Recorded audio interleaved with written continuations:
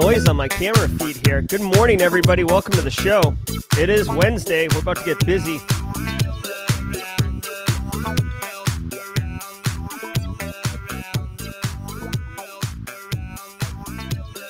Good morning, folks. Today is Wednesday, November 23rd, 2022. Welcome to episode number 247 of Simply Cyber's daily cyber threat briefing. I'm your host, Dr. Gerald Auger, and over the next 45 minutes, I'll be delivering the top cybersecurity news stories of the day and providing expert analysis on each of those stories. On what it means to you as a practitioner, or if you're looking to break in the industry, we got you covered. There's a lot of great people in chat, a lot of great people. We're about to go around the world, y'all. But before we do that, I want to say shout out and thanks to the stream's sponsors, Barricade Cyber Solution and Recon InfoSec. Barricade Cyber Solutions is dedicated to helping businesses from cyber attacks and recover from the damage done. Cyber attacks can cause massive issues. I'm talking like just catastrophic, devastating issues, okay? And send hardworking, dedicated business owners into absolute turmoil. You don't want to be doing that going into the holidays. But don't worry, Barricade Cyber Solutions knows how to mitigate the damage done by cyber incidents. Check them out at barricadecyber.com. You got the website right up here on screen. Eric Taylor's uh, calendar's open here. It looks like he's uh, blocked off Thursday. No surprise there with the holidays in the United States, but he's he's got a lot of openings. Get on his calendar, have a conversation with him, figure out if Barricade Cyber Solutions is a is a good option or is better than the nothing option you currently have uh, for dealing with uh, incidents, uh, especially like ransomware, which would just be devastating going into the holidays. Holidays. I also want to give a shout out and love to the other stream sponsor, Recon InfoSec. If your organization is large enough to have real cybersecurity concerns, but maybe not quite large enough to build a full fledged SecOps capability from the ground up, check out the Managed Detection and Response offering, MDR, from Recon InfoSec. Their offering includes people, process, and technology needed to deliver full spectrum SecOps to organizations of any size. What? Did we just become best friends? Yep. Recon InfoSec, it's a security company managed and run by security people. They are top notch, top, top notch in, uh, you know, basically security operations, incident responders, blue team people. They run a tight ship. They run a good operation. MDR is a really, really good option if you are looking to like basically make your dollar go further, right? So budgets are getting tight as the recession looms near. CFO's asking you to make a dollar out of 15 cents. Little Tupac reference. Well, MDR is a great way to do that. Consider going to Recon InfoSec and talking to them. Links in the description below. I want to remind you if you hold professional certs that require CPEs like CISSP, CISA, CISA, each episode of the Daily Cyber Threat Briefing is half a CPE. So two and a half a week, 10 a month. They literally stack. Say what's up in chat. Document yourself as being here. It's literally the most enjoyable way to earn CPs that I'm aware of. If you're live, love it. We're about to go around the world. Hopefully, we can do it. There's 72 of you in here right now. Thanks for being here. If you're watching on replay, hashtag team replay in comments. Thanks for catching the stream. And remember, you can catch the stream in audio format only on your podcast app of choice. Just go into your podcast app, search on Simply Cyber, it'll pop up. We post the shows right after the live stream ends. And now, if you want to jump right to it, to the news, when the screen turns to the news, we're off and running. But for the next couple minutes, I would say for the next two minutes and 22 seconds, um, we're going to try to go around the world. We do this every Wednesday if you're new here. Every Wednesday, we call out people, where are you at? Where are you at? And see if we can run the world. We did it last week. We did it the week before. We are running uh, a, a, a, hype train here. So let's do it. Where are you at? Where are you at? Good morning from Cambridge, the MIT area. George Strasberger bringing North America online. Nice job. Love it. Hey, Georgia, what's up? Gulf Coast, Mexico. Love it. Texas is in the house. Big Texas. Oh my God, Big Texas everywhere. I know Miami contingent's in here. Kimberly's up in here. Alley Cat's in the back. Alley, Alley Cat. Love it. What's up? Come on, Marilyn. I see you, Alicia Jerry. Ghana's in the house. Kitsko bringing Africa online early into the contest. I love it. What's up? India, Asia's in the house. Thank you so much, Shane Himes. Upper Peninsula, Michigan, New Brunswick, Canada. Hello from the Low Country, Bill Donaldson. Raleigh, North Carolina's up in here. Indiana, come on now. Uruguay, South America. Yes. Afghanistan's Middle East. Yes. Hold on. Afghanistan's Middle East. Um, Oh my God, I saw South America in there. Uruguay. Um, Chesapeake Bay, Maryland. Love it. Love that area. Jenna Harding, another low country local. Love it. What's up, Matthew Netchi, bringing in Europe online? Guys, all we need is Central America if you want to. I mean, we've run the major continents at this point. Let's. Can we get Central America? I guess that might be Uruguay. Internal Stranger, Australia's in the house. I see you, Internal Stranger. Thank you so much. Scotland's in the house. Guys, we just blew this thing out. Charlotte, North Carolina. We've got 44 seconds. Let's see what else we can get. Good morning and excited to tell everyone that I started as a NOC agent last night. Nice job, Mr. Kaiser. Way to go, way to go. Dominican Republic, Leonardo's online. Dude. Oh my God. Guys, we just absolutely devastated going around the world. That took us about a minute, like 90 seconds. Holy Jesus. Wakanda. Michael Torres bringing the great country of Wakanda on. New emote. Enjoy that ninja emote, y'all. The more you know, go Joe, right? What's up, Jack Scott in the house? Missouri's in here, guys. Well, congratulations. We just crushed around the world. That might be the most uh, overwhelming win for us in the contest as it's been. So good job. Thanks, Daft Punk, for doing that. Not only IT showing off the new Snake Eyes emote, Tom Bishop with the worlds. Good job, everybody. Let's sit back, relax. We've earned it. Let's get some hot takes on some hot news. From the CISO series, it's cybersecurity headlines. It's Wednesday, November 23rd, 2022.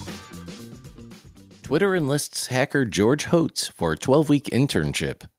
Despite Twitter's rapidly diminishing workforce, Elon Musk has signed on hacker and frenemy George Hotz for a 12 week internship. Hotz is known for his security hacks, including iOS jailbreaks and reverse engineering the PlayStation 3. Interestingly, Hotz and Musk have history as the two got into a spat after Musk allegedly tried to hire Hotz at Tesla but kept changing the terms. Subsequently, Hotz founded Comma.ai, whose driver assistance system aimed to bring Tesla autopilot like functionality to other cars. The two appear to have made amends after reconnecting on Twitter. Hotz described his new role at Twitter as being in charge of search for the platform. All right, so this is pretty cool. Okay, so this George Hotz cat, very um, you know, well-known hacker, right? And you know, when you when you crack the PS3, um, that's cool. A uh, little spot with um with um Elon. I don't know what you accomplished in 12 weeks. Um, you know, Elon is trying whatever he can. Get your Elon emotes in chat if you want, uh, squad members. Um, Elon is trying all sorts of different things. He he likes to move fast and, and break things. Um, bringing this guy on for three months, you know, I, I don't know. It almost seems like maybe that was just like an agreement. Like George Hotz is his own his own uh, entity at this point. He's not going to like take a nine to five job, right? Obviously, so this is obviously some type of they call it an internship. I think that might almost be playful. To me, it's more of a professional service consulting gig because George Hotz doesn't need an internship um, to help him. The one thing I would say about this, it's it's interesting. We'll see what happens, but it, it brings an interesting bigger point. Um, anyone, okay, anyone can be a red teamer. Anyone can be a pen tester. All right. Now, having said that, like I'm not very good at it. I I, I dabble, but I'm not very good at it. I will say one underlying consistent trait that I have noticed in people that are very very good at offensive security is that they typically um, really enjoy like taking things apart and understanding how they work especially they've been doing it their whole life like every every single person not every single person but many people i talk to that are pen testers or uh, you know offsec people at, at, at high levels they literally you know um, just took things apart and to understand like took their parents phone apart took their took their toy rc car apart breaking things down, wanting to know how they work, wanting to understand the mechanics and, and behind it. And for George Hotz, like being able to like, you know, reverse a PS3 and all this other stuff, like it shows that he has those chops and that capability. So for me, my initial thought is, okay, Elon's actually trying to get an interesting kind of tinkerer, um, not counterculture perspective, but just the perspective of someone who isn't going to look at the problem the same way that Elon's looking at it, or look at the problem the same way that marketing or, or software devs might look at it, right? So I'm hoping that this actually results in something interesting. I mean, Twitter right now is literally a dumpster fire. The dog, this is fine. That's what's going on. Uh, Elon's got enough cash to kind of burn, continue to burn for a while, but they've lost a lot of staff. Uh, and the final thing I'll say about Twitter and Elon, uh, I was talking to Paul Imey, uh, one of the leaders over at Soteria uh, at Charleston B-Sides this weekend, and he pointed out something that I hadn't considered. Like everybody that got fired at um, Twitter, like there's probably tons of people still getting paid because they didn't get off offboarded correctly. There's probably tons of people who still have access to all sorts of stuff because they weren't properly offboarded. Because the people who were supposed to do the offboarding also got offboarded, right? So um, Twitter is a dumpster fire, uh, um, and I don't know if they're going to be able to pull up, but I see this as an opportunity to get uh, interesting perspective, and obviously the ear of Elon. So we'll see where it goes. Estonians arrested for masterminding massive Ponzi scheme. Two 37 year old Estonian men, Sergei Potapenko and Ivan Turogin, face up to 20 years behind bars for their role in a crypto related Ponzi oh, scheme. Oh boy, crypto. Between 2015 and 2019, the pair allegedly coerced thousands of investors to invest over $550 million in Hashflare. Hashflare supposedly enabled investors to rent a portion of the firm's cryptocurrency mining operations in exchange for the crypto it produced. While Hashflare's website showed they were making big profits, in reality, the firm was mining Bitcoin at a rate of less than 1% of what it claimed to be. When investors tried to withdraw funds, the scammers either refused or paid them using virtual currency they purchased on the open market. In a separate scam, the fraudsters raised an additional $25 million, convincing victims to invest in Polybius, a bank specializing in virtual currency which never actually existed. The duo laundered funds by using shell companies and phony contracts and invoices to buy at least 75 properties, six luxury vehicles, cryptocurrency wallets, and thousands of cryptocurrency mining machines. Oh my god. Okay, so first of all, let's do it. All right, so these these Estonian dudes, guys, Ponzi scheme. Welcome to crypto.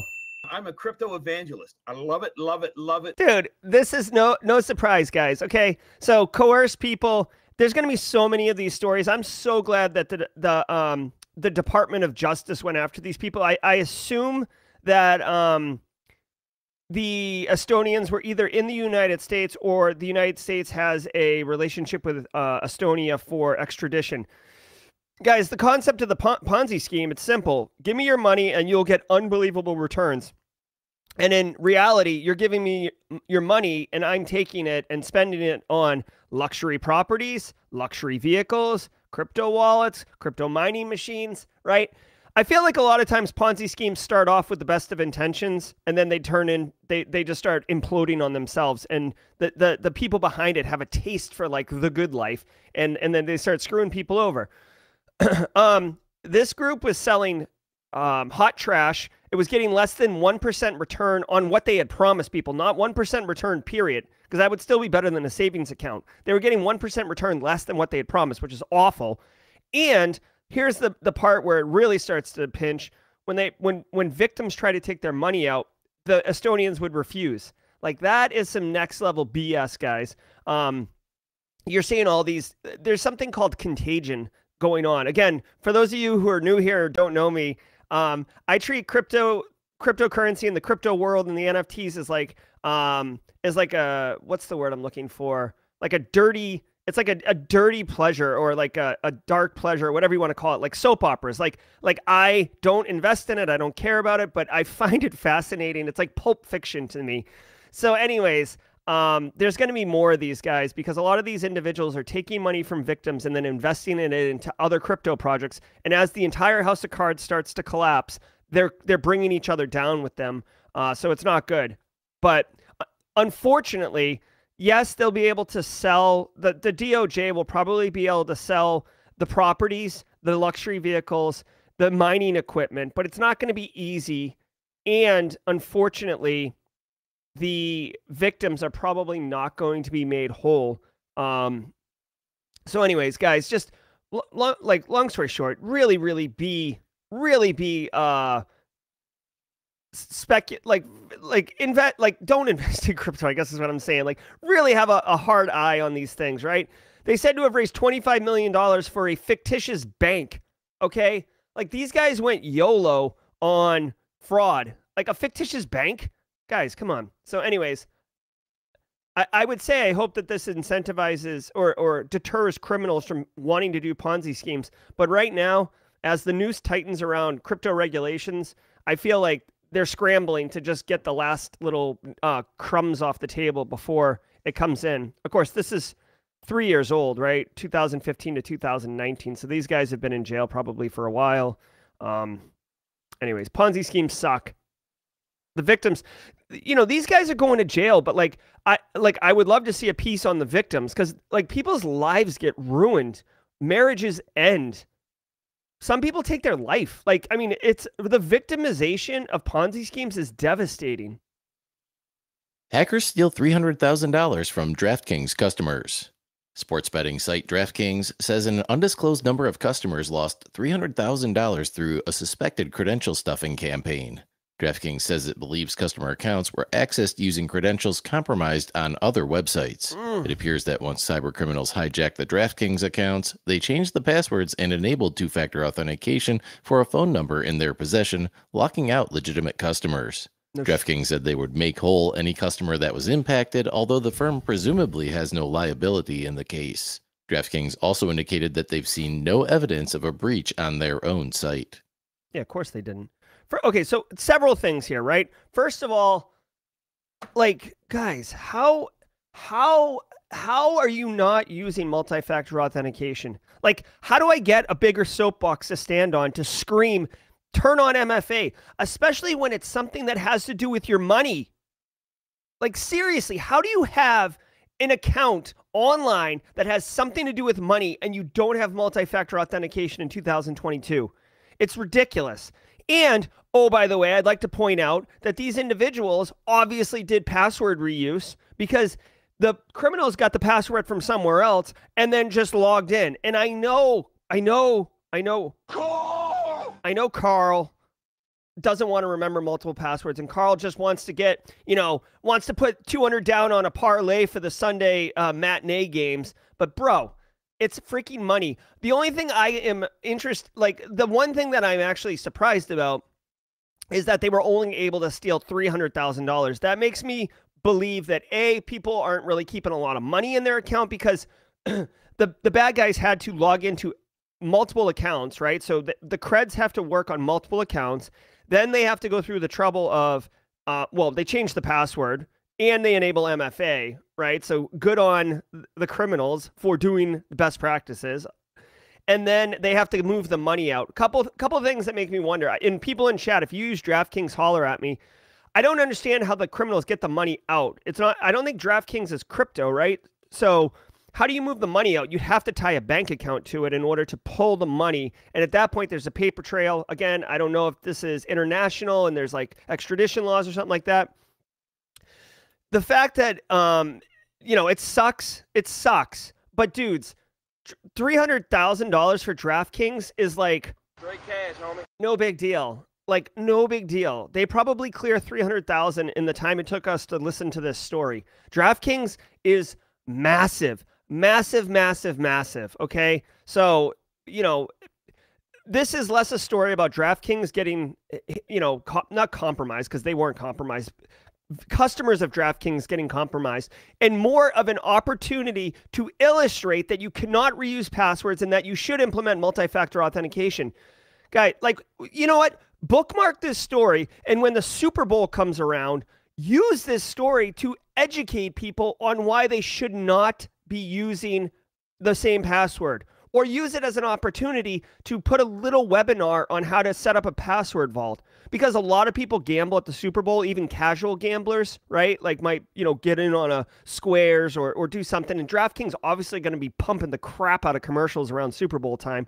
So, I would just say um, bookmark this and then use it later or actually put together the, the the email messaging campaign in little video and save it for save it for Super Bowl time, which is like late January, early February. Joshua B is confirming DraftKings uses bank accounts. Yeah, so I I mean I guess you could have compromised bank accounts and move the money in there, but then you need money mules to get the money out. It's not it's not as simple as you know crypto, which is why criminals like crypto. But anyways, shame on. I mean, dude. You okay? So final thing on this. All right, final thing on this. I like my kids play Fortnite, okay? They play Fortnite.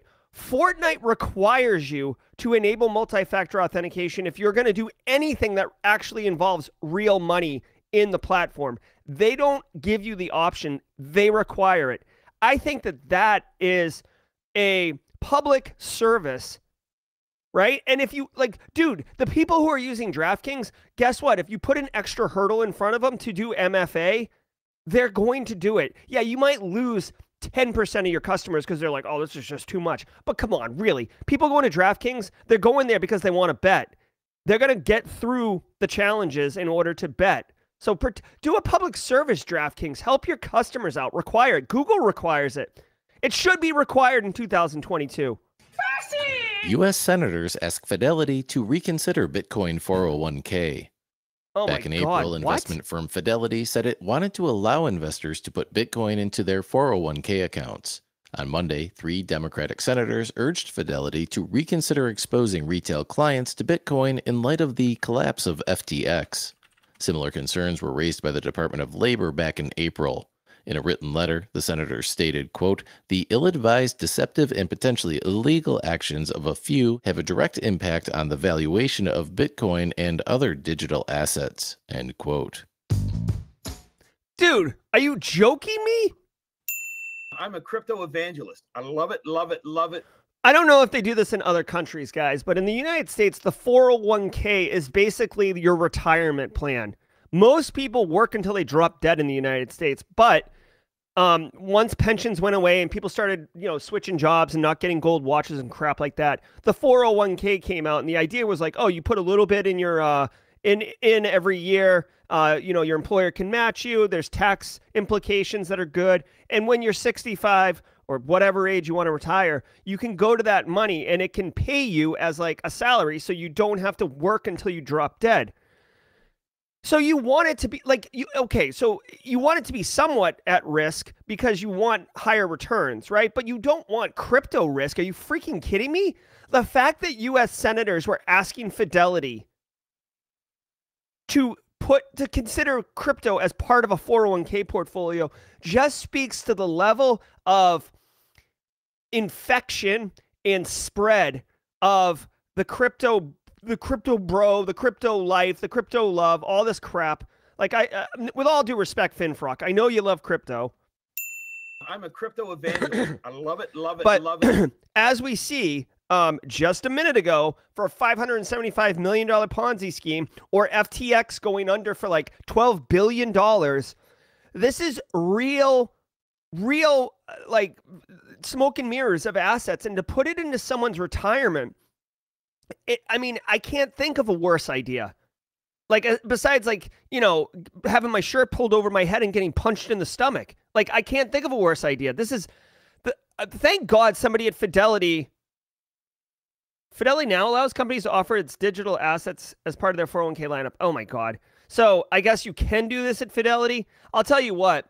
I'll tell you what, guys, just as a, a matter of action, which I will be doing. So I, I suck at uh, financial management stuff. So I actually have uh, someone help me with those things. I'm going to message them right after this thing and reiterate that I am not interested in crypto in any of my 401k investments. Oh my God. I didn't even think about this. But yeah, so the fact that US senators are talking about this, US senators are not experts in crypto. Um, it's just, this is not good. This is bad. Exactly. Pamela works too hard for crypto risk. Hell yeah. I mean, it's not even it's not even risk. I mean, it's it, like crypto at scale is a Ponzi scheme, right? The here's my thing. The only reason to invest in crypto is to so you can get in at a lower value and then sell it to some other sucker at a higher value. That is investment fraud. I mean, you're not willingly pumping the stock in order, like you know, Kardashian or uh, some of these other celebrities, Tom Brady, uh, who are being who are who are starting to be kind of spoken in circles of of being brought in for um, essentially fraud. Um, we're not pumping that, but when you buy crypto, guys, when you buy crypto, there's no value to it. You can't go to the store and buy groceries with it. Yes, I know you can go and buy a Ferrari in the United Arab Emirates and stuff like that, but really, like for paying your water bill, for buying food for your family, for paying your mortgage or your rent, You, no one's taking crypto, right? So there, it doesn't have value. The only value in it is the implicit perceived value, uh, future value that you can sell it to someone else who wants to get in on it, right? That's that, that's the freaking game. It's stupid. I'm so pissed. I hate crypto. And now, a word from our sponsor, Compyl. Preparing a Thanksgiving meal can be stressful, but managing your security and compliance program doesn't have to be. Compyl quickly integrates with the tools you use and automates 85% of day to day tasks, all while providing complete visibility and comprehensive reporting along the way. Learn about Compyl today at www.compyl.com. That's C O M P Y L.com. All right, I got to get some more coffee here. You're new here at the mid roll, we, we, we get a copyright infringement strike and play Simple Minds. And I take a minute and thank all you guys. But if you just give me a, a moment of grace, I'd like to top off my coffee. That crypto rant got me all hot and bothered here, and not in the good way. All right, here we go.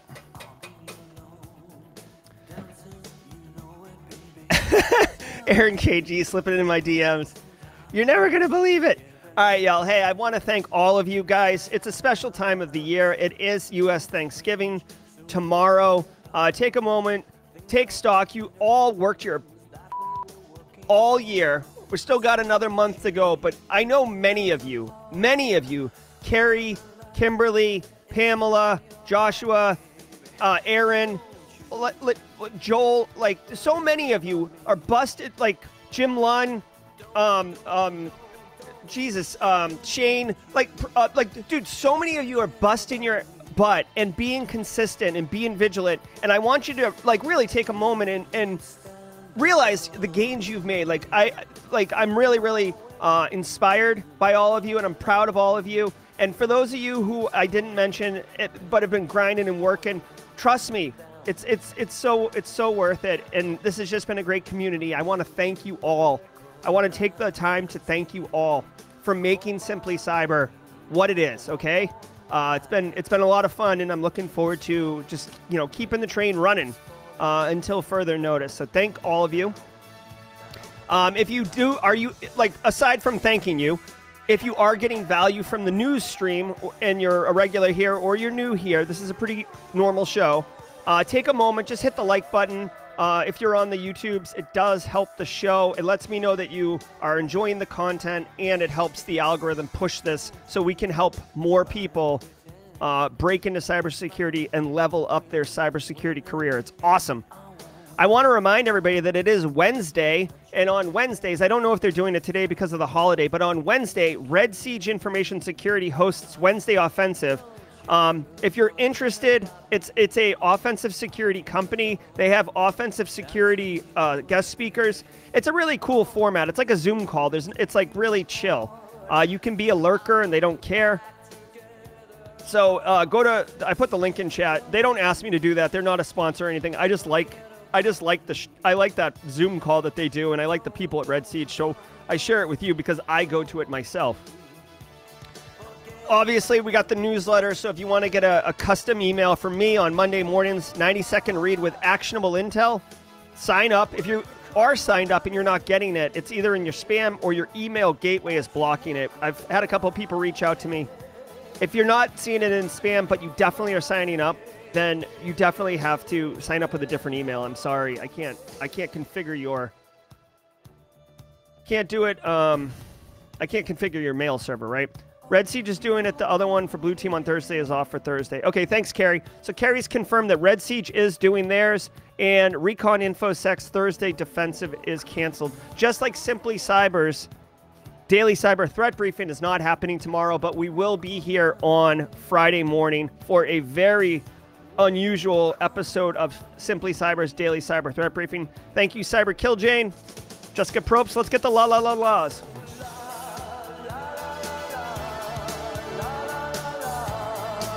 I mean, if we're going to get a copyright strike, let's get a full copyright strike, right? All right. All right, let's get back to the news, y'all. Hackers breach energy orgs via bugs in discontinued web server. Back in April, Recorded Future reported that state backed Chinese hacking groups targeted multiple Indian electrical grid operators, including Tata Power. The report noted the attackers hacked internet exposed cameras, but didn't specify how. On Tuesday, Microsoft clarified that the hackers exploited a vulnerable component in the BOA web server, a software solution discontinued since 2015. BOA servers are pervasive across IoT devices because of the web server's inclusion in popular software development kits. Microsoft says it expects more of these attacks because in a single week it has detected more than 1 million internet exposed BOA server Okay, I will at the components. All right, my my uh my off air my off camera producer, my seven year old off air producer is telling me that I need to be sure to tell you guys what I'm thankful for before I get off the stream. Oh, oh, I see. All right, thank you. Uh, uh, yeah, I'll do that. All right, so guys, you guys might remember that a little while ago, uh, Indian energy company Tata was hacked.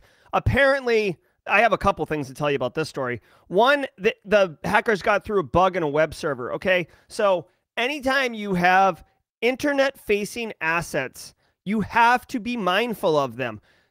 The fact that they were running a web server that went end of life in 2015 is a major problem, right? So either A, they didn't know about it, which I find egregious because you have things like Shodan that you can use to find assets on your network, or you should be running a vulnerability scanner on your network.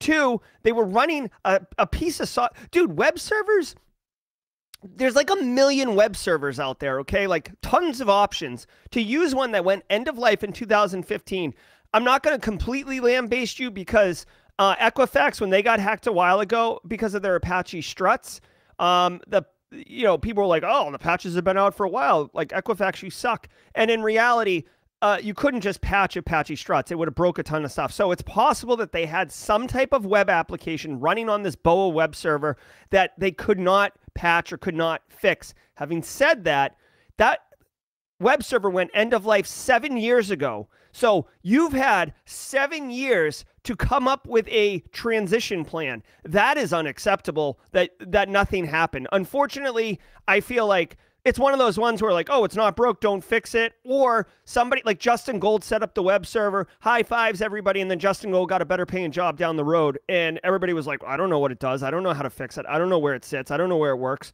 Just leave it. It doesn't do anything, right? Or or it just went end of life and like they they here's another thing, guys. Like you have to sunset systems when you're done with them. You can't just move on. Just like when people quit the company, you have to shut off their access. You can't just leave it.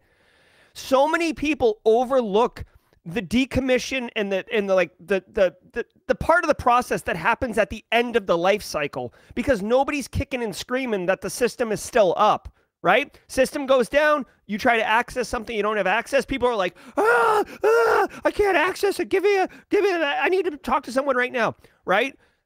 You quit your job or this or they replace it with a brand new system. Nobody is calling you like listen bro i can still access that web server. This is ridiculous. Like nobody is saying that. And that's why this this this technology stays forever. And it's bullcrap because of the attack surface it introduces. Like as an information security guy this pisses me off. It's hard enough. Listen guys it's hard hold on i gotta go big cam here. It's hard enough it's hard enough to protect an organization with just the tech stack that they actually use for business operations. When you start adding legacy tech or end of life tech or te- or shadow IT or any of this other jazz, you're literally like tying my hand behind my back and being like, let's see if you can protect the organization now. Or like both hands, blindfold, my shoelaces together, and like, I don't know, like throwing one of those like stink bombs that kids used to drop in like middle school or high school, you'd be like, oh my God, what is that? I can't get away from it. Like that's what's going on when you introduce all this other, um, these challenges. InfoSec is already a hard game. There's no reason to stack the deck against us. My my God. So, anyways, like surprise, a, a, a piece of technology that's internet facing, that's seven years old, I mean, seven years end of life, led to a breach my oh like i'm stunned like like th- come on come on man so ridiculous seriously experts warn threat actors may abuse popular red team tool. Researchers from Proofpoint are warning that a new red teaming tool dubbed Nighthawk may soon be leveraged by threat actors. In 2021, MDSec created the tool, which is an advanced C2 framework and a commercially distributed remote access Trojan designed for legitimate use. Proofpoint's analysis also revealed an extensive list of configurable evasion techniques within the product's code. Proofpoint has seen a rise in threat actors leveraging red teaming tools because it helps with complicating attribution, evading endpoint detection, and streamlining the hacking process. Proofpoint concluded that security vendors should take note of Nighthawk's capabilities in order to deliver effective protection to their customers. Ooh. All right, so a couple things here. One, including a little shout out to ROP, return oriented programming. That was like one of the more advanced things that I learned in my PhD. Cra- it's crazy. Like, there's so many smart people out there. I- am not one of them. but the people who came up with ROP and ROP gadgets and JOP, uh, which is like the advance of ROP, uh, those people are brilliant. Um, so here's here's the here's the key takeaway on this one, guys. Couple things. One, um, yes, there are tools, famously Cobalt Strike, but there are other tools. Nighthawk and I think Ratel is the other one. Brute Ratel that allow their advanced C2 frameworks. Okay, so like what's really quickly two things. One, what do we got here? Kayla Rose with the membership squad. Thanks, Kayla Rose. Be sure to check out those emotes. We got a brand new Snake Eyes Ninja one in there, Kayla. So hop on that one. All right. And Chinadu's asking, how do we keep threat actors from using this? Okay, so here's two things. One, red teams and professional pen testing organizations that are designed to help organizations defend themselves use these technologies, these advanced C2 frameworks. Nighthawk, Brute Ratel, Cobalt Strike is the is the most famous one. Well, these organizations sell you know, they, they're supposed to be very um, dis- uh, practice discretion when choosing who the clients are that get to use it. Like you get vetted, you have to prove that you're a legit organization. Fine. Here's the problem. I pop an organization that is using Cobalt Strike. I get the code, and now I I have access to the softwares, right? Or I, I get a cracked license key, whatever. I don't know enough about um, the Cobalt Strike and stuff to know if there's like some back end licensing server that connects to it or whatever. But it, tons of threat actors get access to these tools and then weaponize them.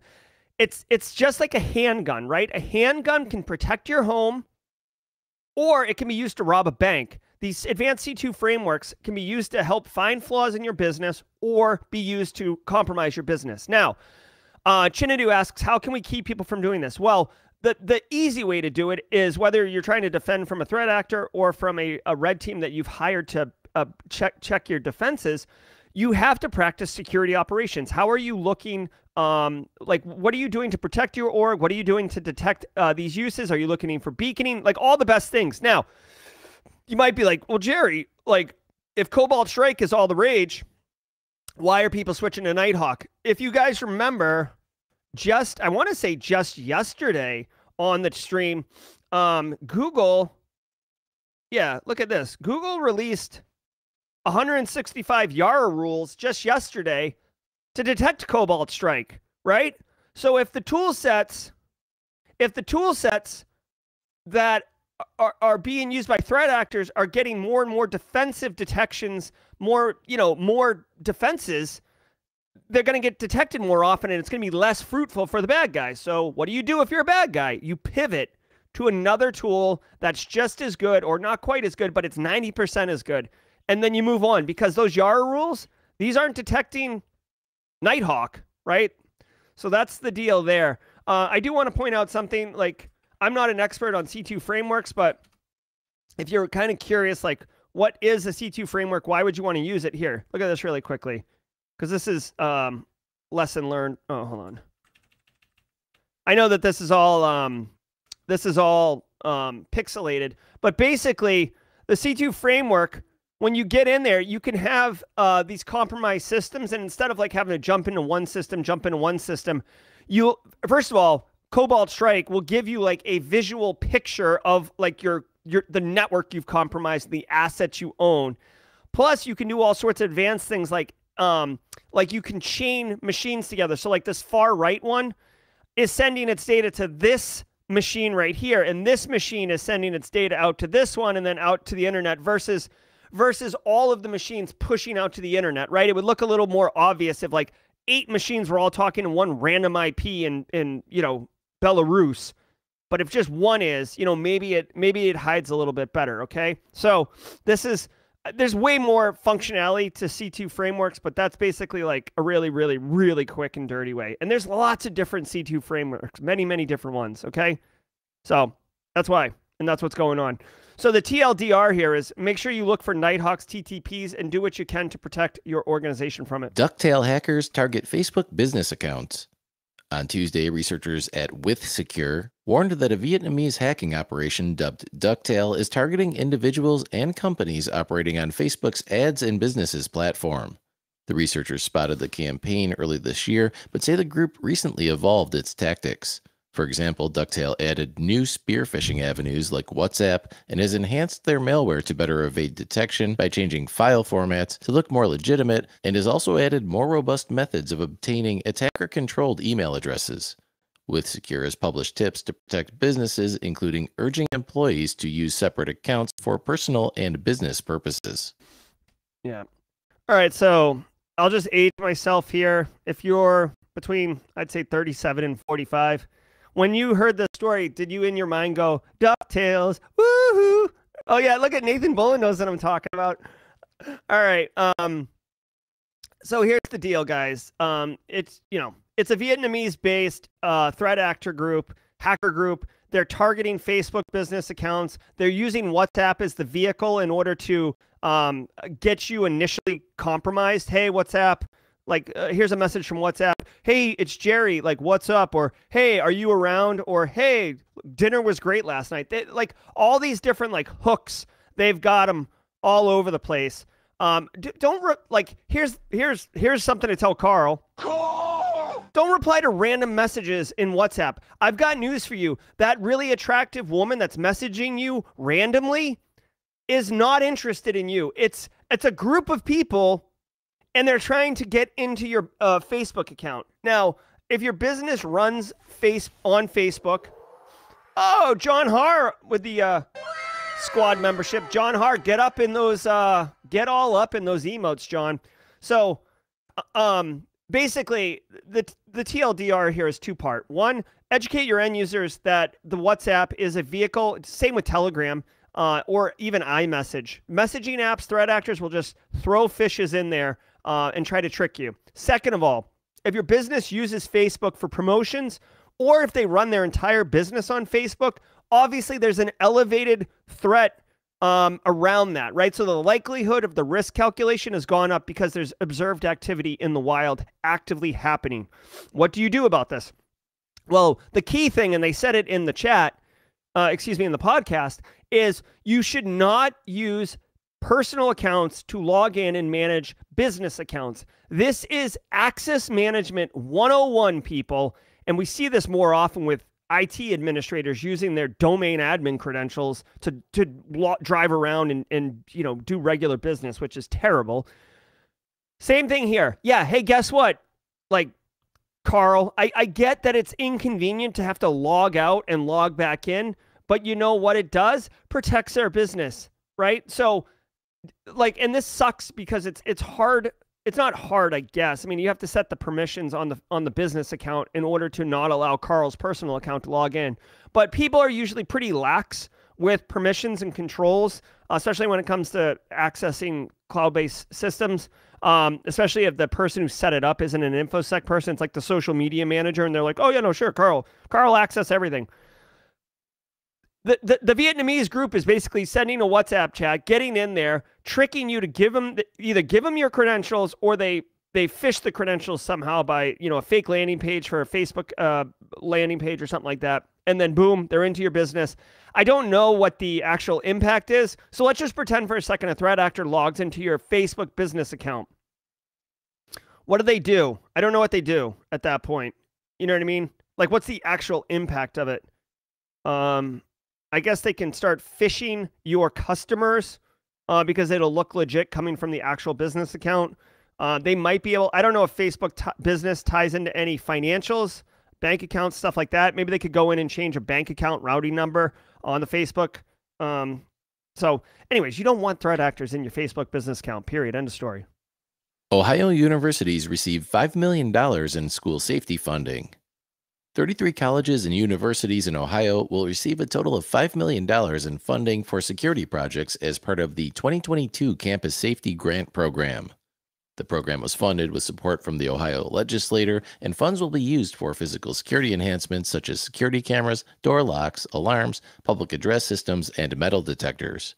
In order to receive grant funding, institutions had to first conduct a security vulnerability assessment to identify areas needing safety enhancements. Ohio State, Kent State, and Bowling Green are among the field of grant recipients. All right. I mean, okay, so yes, Ohio universities are going to get $5 million in funding. Where's the money coming from? I kind of wanted to know that. Um, fun, yeah, like where's the money coming from? It was funded with support from the Ohio legislator in Senate. Okay, so this was in Ohio State. Um, this was in Ohio, like the state of Ohio funded venture. And even though it says safety, um, what do we got here? Ooh. What? Did we just become best friends? Yep. Thanks. Thanks, Cybersecurity Central. Uh, I appreciate it so much. Definitely. Listen, this is all around physical safety. Right now, uh, unfortunately, there is a. I don't know how if it doesn't get reported in other countries or if the United States is just like you know the front runner, but there's been a lot of school shootings. Okay, there's been a lot of. Um, I mean, they had the shooter in Las Vegas, just like shooting into a crowd. That like, uh, there's there's um, like mass shootings. There's lots of them, and some some uh ways to control that is to add metal detectors, to add more people walking around with guns, right? You know, there's there's arguments on both sides of the fence on whether that's a good idea or not. But the point is, this is not really cybersecurity. This is exclusively physical security. And I would argue it's literally addressing mass shootings only. Like the the the deterrence that they talked about, uh, CCTV, security guards, metal detectors, those are all associated with shootings, right? So that's what the story is. Uh, but it is worth noting, guys, like as cool as zero day leet hacks are, in our world, a comprehensive cybersecurity program does have physical security controls. Um, and that's just the way it is. There's three types of controls, right? There's administrative, operational, and technical. And there's there's multiple risks. 85% of our risks are ducktails. Woohoo! Like right threat actor groups, criminals, cyber threat actors, APTs, whatever. But there is real concern for environmental risks and natural risks, right? And what's the difference? Natural would be like a hurricane, a flood, right? If you had a data center in New Orleans when Katrina hit, you probably lost everything unless you prepared, right?